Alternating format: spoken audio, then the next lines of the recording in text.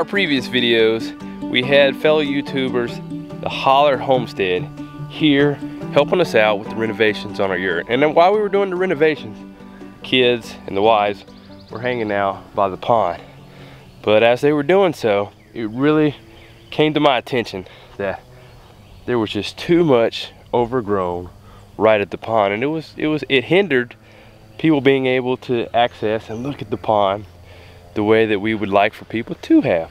So here lately I've been really just kind of trying to clean up around here clean out some of this this brush and things that have overgrown around our pond so that way we have a better view. And at the same time that we have all of this we recently have gotten goats.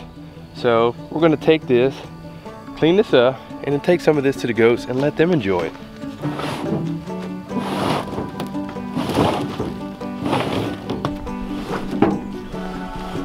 but before I take any of this brush first need to clear some more out.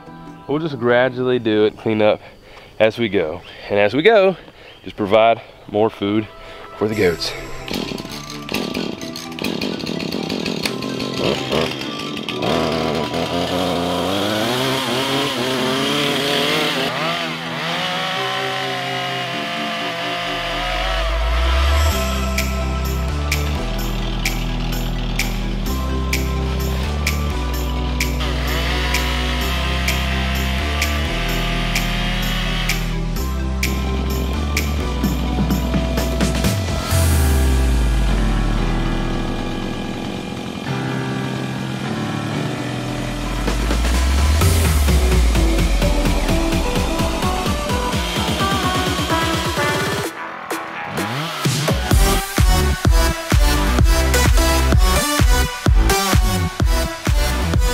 I'm here, I'm gonna go ahead and cut a branch off of this tree down. No, I'm not cutting this tree down, but the branch. When we look out from the bedroom, all we see is these branches coming out. So it's really hard to see the pond with these, these big branches right here from this. I'm gonna climb up this deer stand that is conveniently already here and uh, cut these branches down.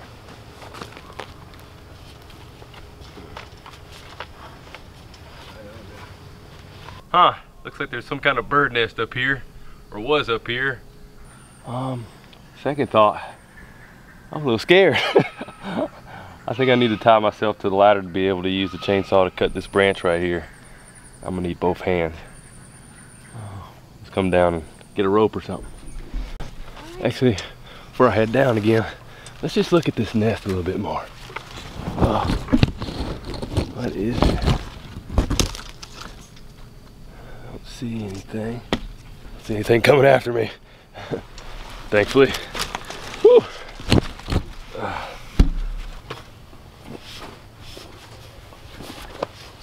Hey, Taylor. Hey. You're just in time. Can you hand me, uh, actually hang on to the chainsaw right down there while I use this rope here? I'm gonna try to tie myself to this, this ladder here. Yes, sir. All right.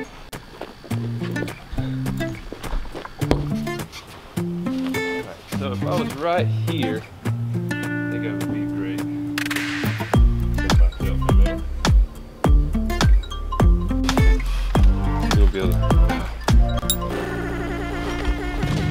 So instead of using the rope, I'm going to use carabiners here. And we're just going to strap myself in uh, like that. So just put them in, hold it just like that.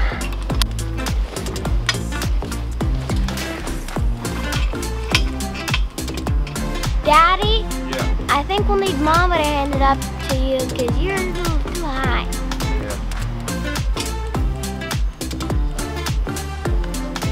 Thank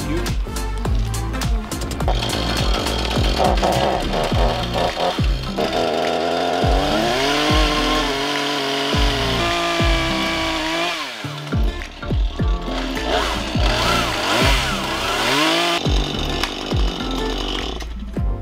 Didn't make as clean of a cut as I wanted to. Uh, just had trouble with the angle. To be honest with you, I was a little scared. But you know what?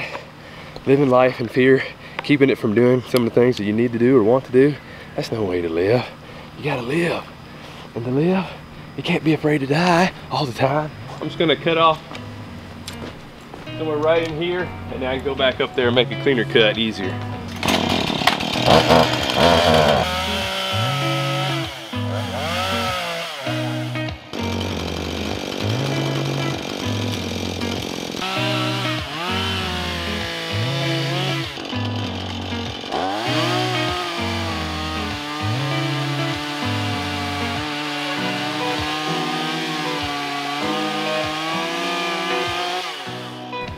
Thanks for helping me out. You're welcome. That was uh, pushing it for me today. I'd love to trim another branch or two here, but uh, I'm knowing my limits too. It's One day to push yourself and, and test things, which we should. Life, we should do hard things. We should do some risky things. It gets us out of our comfort zone. that was out of my comfort zone enough for today. Well, it is time for me to go take care of some goats. All right, well, you go ahead and do that, and we'll gradually start bringing these branches over to you for the goats to munch on. Oh, I'm sure they'll like that a lot.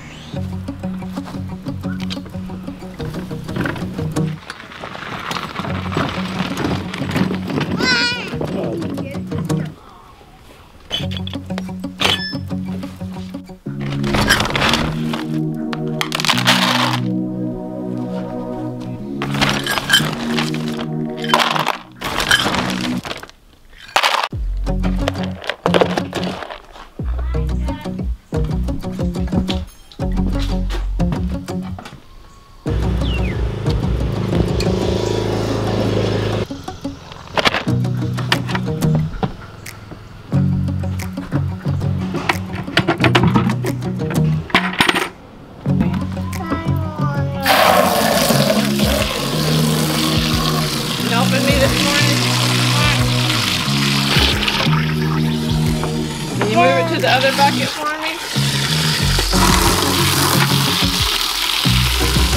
Dad, me to do. You're a good waterman.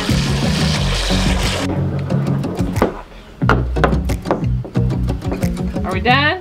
Yeah. Okay. Are you gonna carry it? Nope. Are you sure? Just did it to you. You're not gonna carry those? Ow. Do you think I need to can you and Josiah get the wagon for me? And I'll get these. I wanna do it by myself. Well, you can pull that way and he can pull the other way. Come on.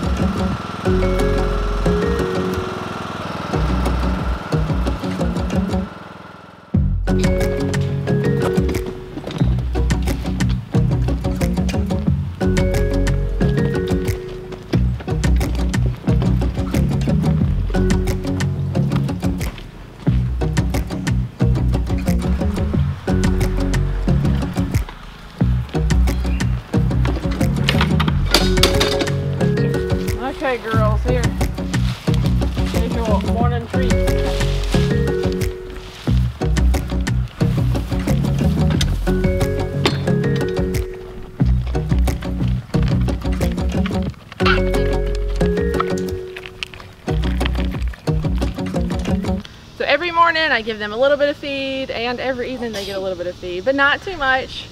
And then every morning I fill up their hay feeder with hay so they have access to hay all day. So I know a lot of y'all are really concerned, but yes, they do get hay and they have plenty to munch on. And along with all this that Mike just brought, will be plenty for them today. And these hay feeders are great. It reduces waste and I just fill it up every morning and hang it up for them.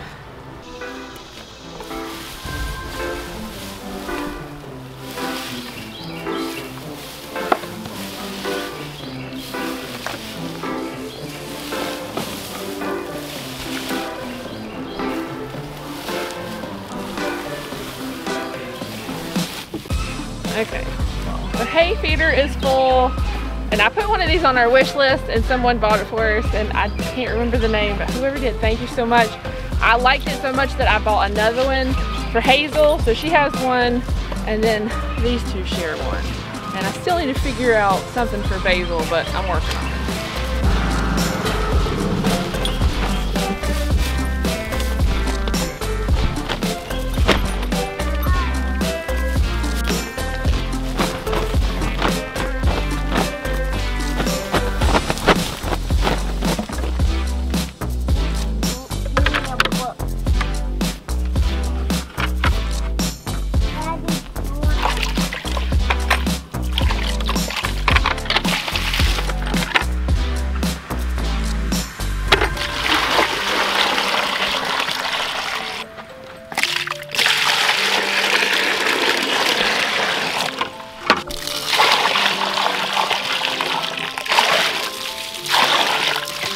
A lot of y'all have been asking about Olga and how is her neck. And I want to show you how her neck is. We have not heard back from the vet. I do need to call, but they did say it was taking longer to get um, these tests done because of the whole situation and mail not running as fast. But here she is. And as you can tell, there's nothing there. That whole abscess or whatever it was, it is gone. And it was actually gone within that same week. It started on a Monday. I started treating her on a Monday. And by Friday, you couldn't even tell that anything had been there. And I've just kept an eye on it and it hasn't come back. And that has been almost three weeks. So I count that as a win. And I also want to mention a lot of people in the comments just jumped the gun and said, oh, you need to lance that. You need to, to do to, to see what it is. But I encourage you, if, if you can start to get something to come back down on its own, there's no reason to cut into something if it's already reducing because you are just going to up the risk of infection um, from cutting something open. So I encourage you, don't let cutting or draining or anything be your first option. Try something else first and then let that be a last resort for uh, for whatever. For yourself and for your animals. Yep and that's like with humans as well. Surgery shouldn't be the first option. Doctor's saying as soon as you go in there surgery you need to have surgery. Probably should get a second opinion? It's like i don't want to get cut open first. Let's try to explore an alternative first. Ready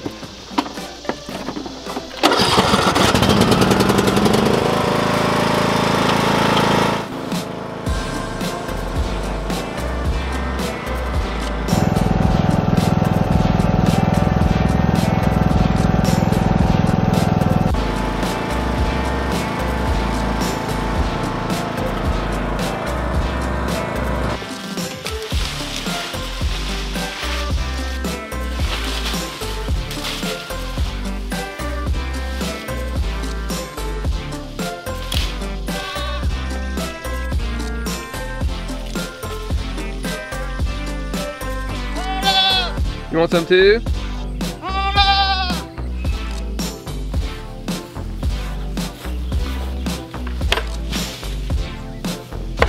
Whoa, look at that strong farm guy. Can you do it? You can do it. Almost. Here, let me help you out just a little bit. Ugh. Ugh. There we go. Let's take that down there to the little guy. He's a little guy like you are a little guy.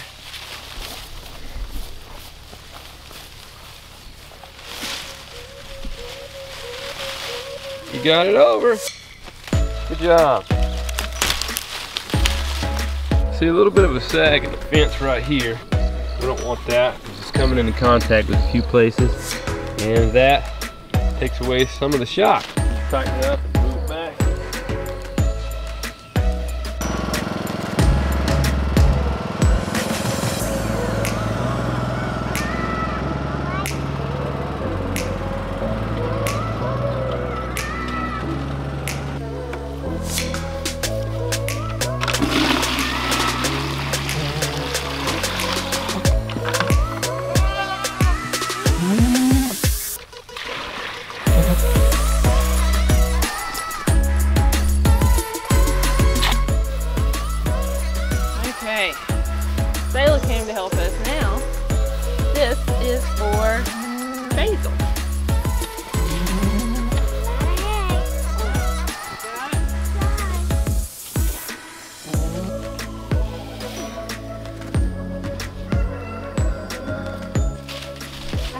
set up the milking stand. And you may wonder why. Well, if I leave it up, she stands on it all day and poops all over it. So I just lay it down whenever I'm not milking her. You ready? Are you ready? I know.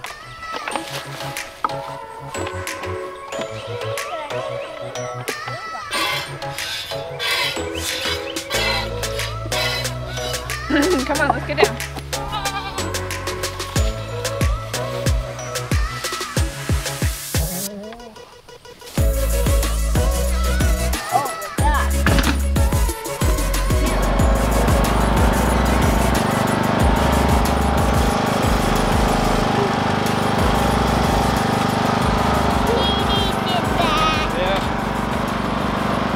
We to cut that branch down. So part of the tending to keep it into our environment that we're around and in. Whoa, we need to cut that one too, don't we, Micah? Yeah. Yeah, give it to the goats. Maybe later.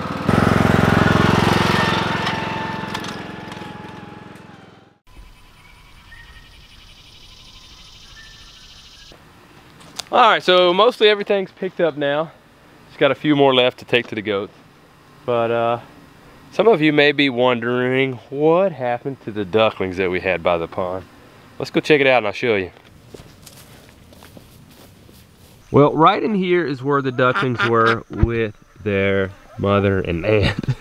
and I say were because Selah came out here to do her chores and she only saw one duckling. We actually ended up having two and then one went missing. And right as long, right around that time is when there was also another black snake, a completely different one, smaller than the one that was in the previous video. Not sure if it ate it or not or something else. But anyways, we decided to move the other duck and the duckling and put them in the chicken tractor together just to be a little bit safer. And uh, this one is still sitting on eggs. Not sure if they're fertilized or not or if she'll have any success. She's already rejected some eggs. But uh, we'll just have to wait and see. Hopefully she won't have any more problems from whatever got it. It, it actually could have been a fish or a snapping turtle in the, the pond that got the duckling. Uh, that could very easily happen because they were taking them out into the into the pond. So I don't know. So I'm just gonna keep cleaning up and clearing uh, cleaning up areas. And uh, if I do see any more ducklings, uh, I'm gonna try to help protect them with the mothers here and uh, do the best we can. Actually, what's that sound? She might have a duckling under. Do you? Can't tell. She does. I see one. A little one. I'm not sure if you guys can see it or not, but it's there. Right there. She's not happy. Yeah. It's in there. Alrighty, so I have a plan. I am going to try to work around her to clean this up and we're going to take the other mother duck and her duckling, bring them down here together and try to get it where we can put the chicken tractor over top of them to keep them protected and safe. So this is my mission if I choose to accept it, which I do.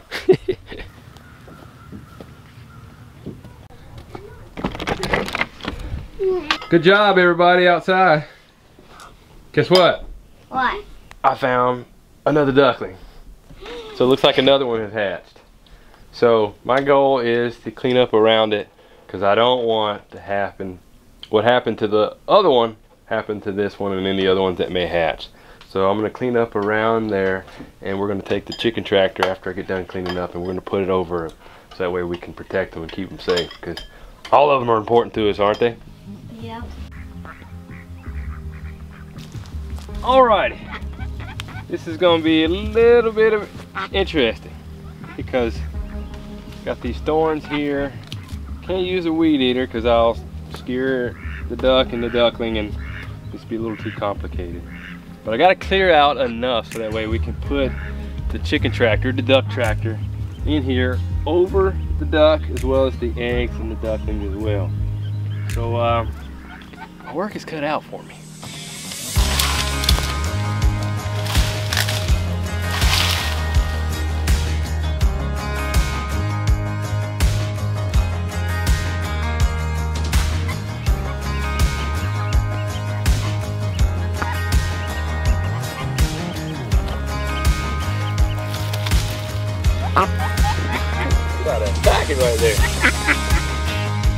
All right, we're almost finished here. Almost have it cleared out enough to be able to bring our tractor in here. But check out the little gal right here. Or little gal, I'm not really sure. So cute. I'm gonna try to clean out some more, but hopefully I won't hit her with these thorns. I'm trying not to as I'm taking these thorns out. Just have to keep being careful.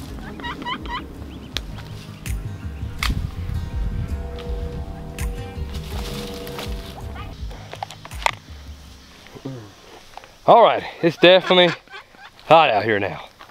But good news is I've cleared up enough space to bring in our tractor. You see, got our nest here. Nest is made really well. And even added one of my gloves, I must add. Go ahead and see if Lacie can help me out with it, moving the tractor down from way up where it is, where we were raising our broilers, down here towards the pond. So it's got a little bit of ways to go. So I think we're gonna use uh, the lawn tractor as well as a dolly. I have a little idea.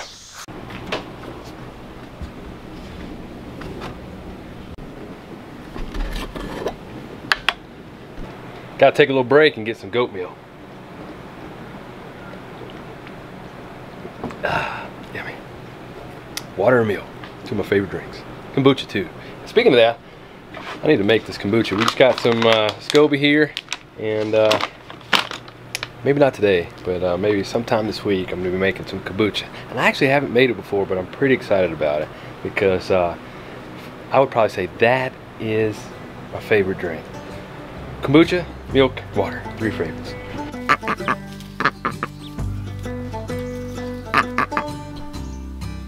Alright, so the first thing we're gonna do is we're gonna take the mama duck and put her in one of our kennels there in the back of our gorilla cart. And uh, it's gonna be fun trying to grab her. Then after that, try to get the duckling. Then Selah, everybody's here. Yeah, for carrying the duckling down there. Yes, sir. And then as we're doing that, Lacie, if you could help me move the chicken tractor here. Okay. And uh, we'll have a family reunion. Ty, will you hold this? Brought your tackle box with you? You gonna catch some fish up here or something? Down there.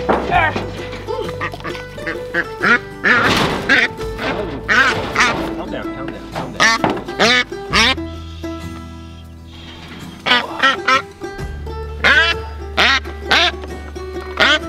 Alright, I got this if you open the kennel for her.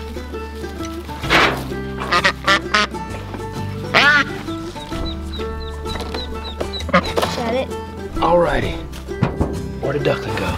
Oh, there it is over there. Hopefully don't scare it. Hopefully it doesn't try to go out down there. That would be crazy. Come on, buddy. Come on. Oh, gotcha. Gotcha. There we go. Look at that little guy or gal. I said that earlier, I think. Yeah. Not sure which one they are, but they sure are cute. Yeah. This one's yellow.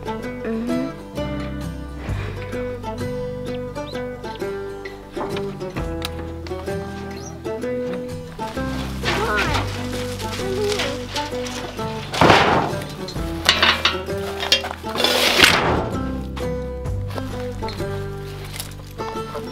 So how's this gonna work? All right, same carabiners that I used to hold myself into the deer stand, I'm gonna use to connect to our lawn tractor here and connect uh, chicken tractor here to pull it while you're guiding it from the back. Well, this sounds like it's going to be another one of our interesting adventures. Yep. We get some exercise in too since some people think you don't get any exercise. Oh yeah. Somebody said that I don't ever do anything on the farm and they made a comment about my size, which, you know what? Go ahead. That's okay. All right, so if you just hold here, I'll go slow and you can, you should be easy. Let's see what happens. Like I always say, should be and are are two totally different things. First thing we're But we'll see. First challenge we face is making this U-turn here. So uh, once we do that, it should be a little easier for a while.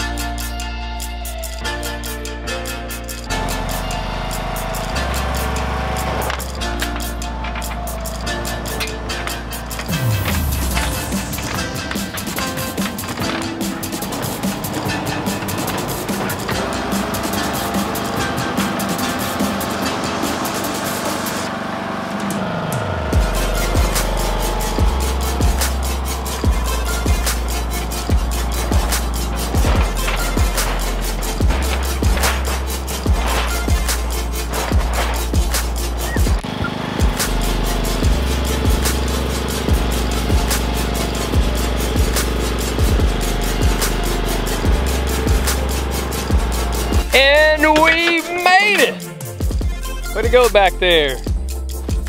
All right, now we're just gonna have to lift it up over top of it.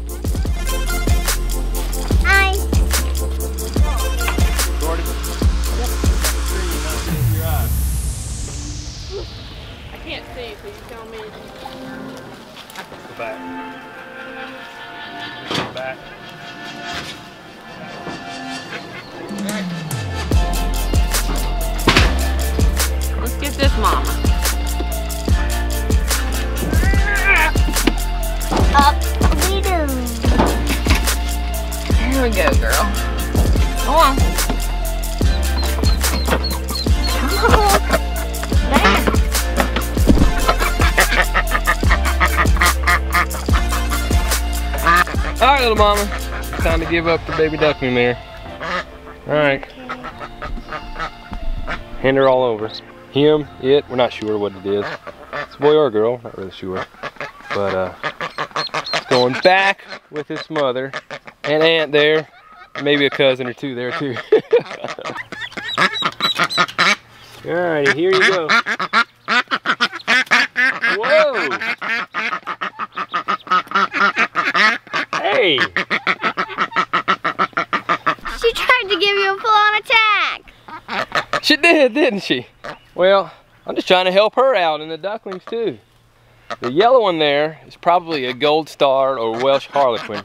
And the little dark brown one is khaki Campbell. We've raised those in the past, but the Welsh harlequin and the gold star are new to us here on the homestead. It's pretty exciting to have each of them.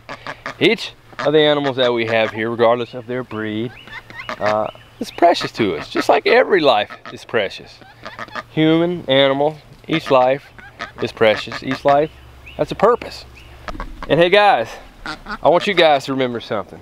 That every life is precious in God's sight. And you were there. And I want you guys to know too, that whoever you are, wherever you are, we love you. So grow on and love on.